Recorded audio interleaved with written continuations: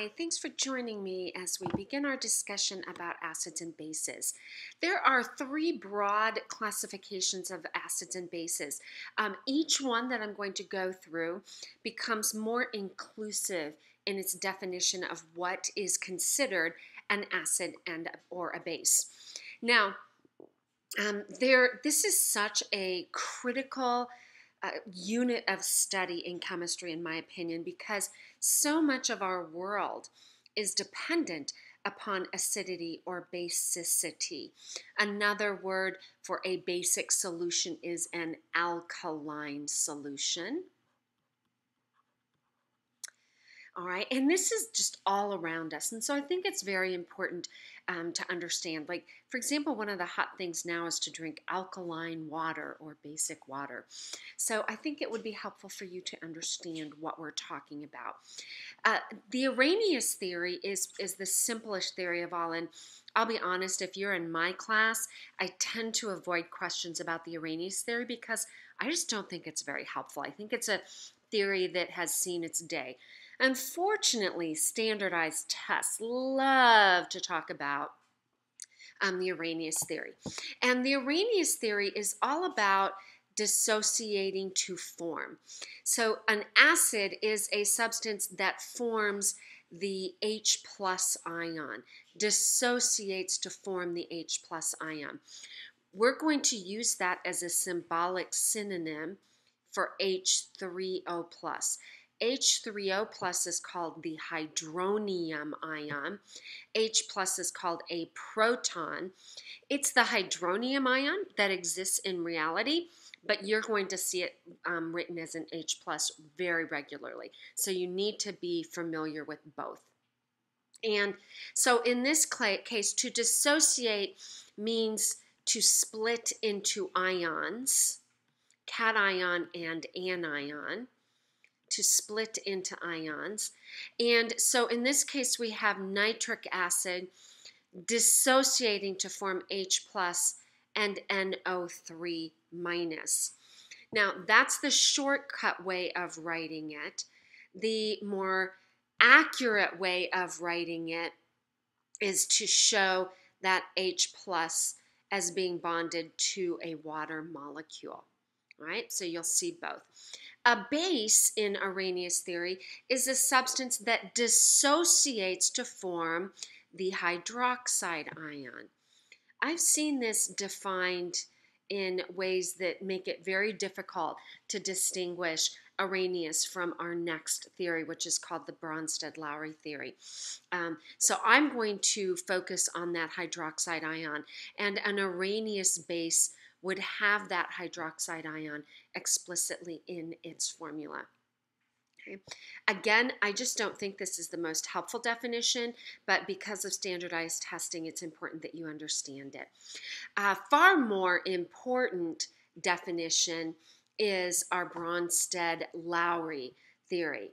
Um, in the Bronsted-Lowry theory, we talk about acids and bases as having drives, a drive to either donate a proton or to accept.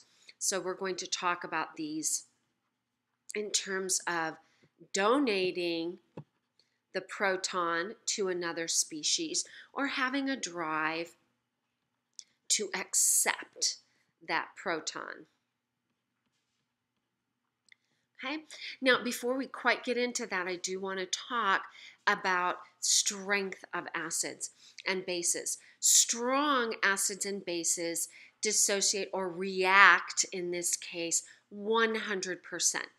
So, for example, hydrochloric acid reacts with water and goes effectively 100% to form H3O plus plus Cl minus.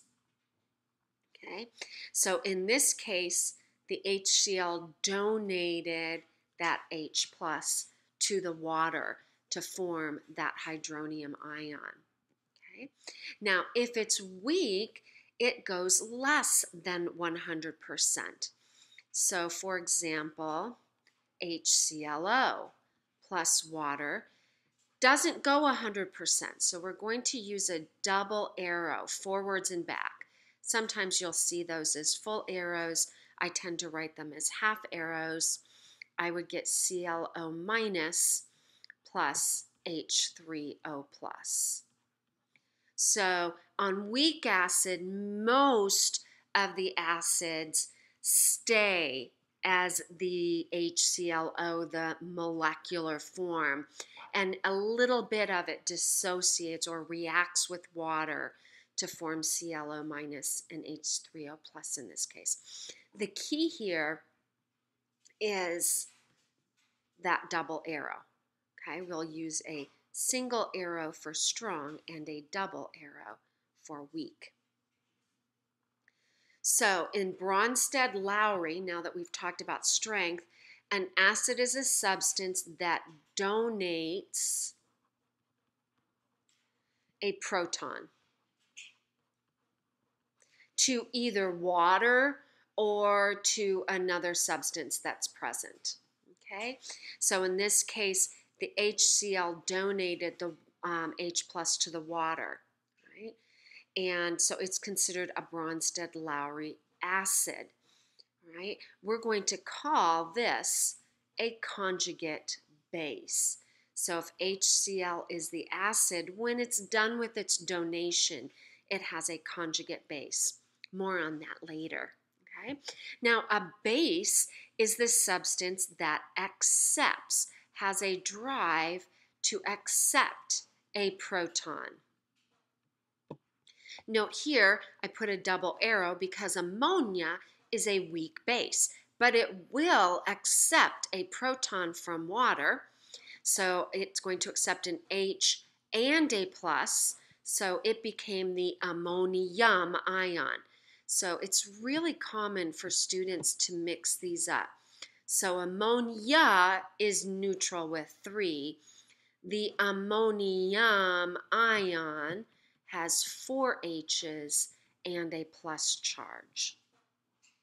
Okay, so NH3 accepts the H plus. It is a Bronsted-Lowry base.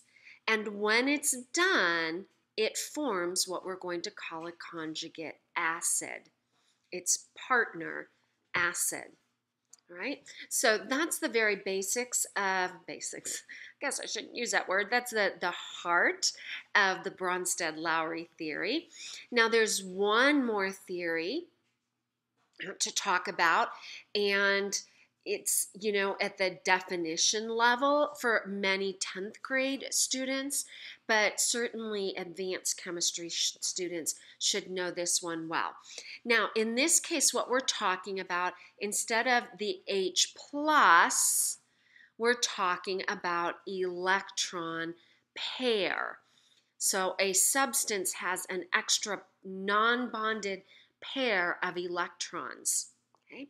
So an acid in this case is the acceptor of that electron pair, and the base donates the electron pair.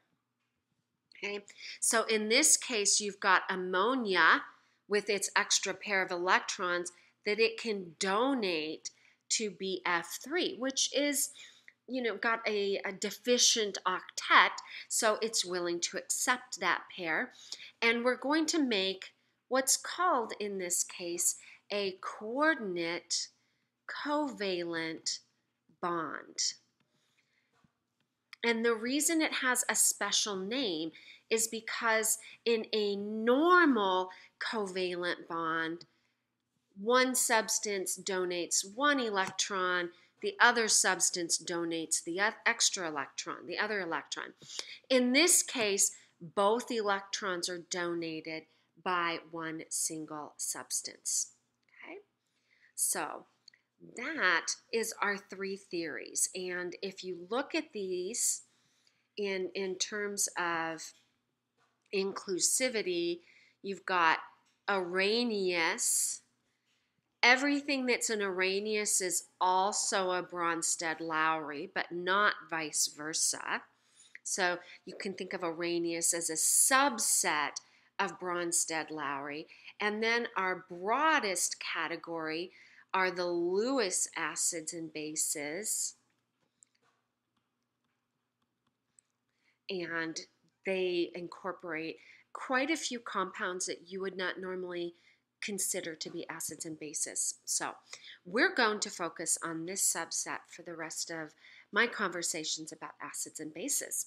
So thanks for joining me. I appreciate your time.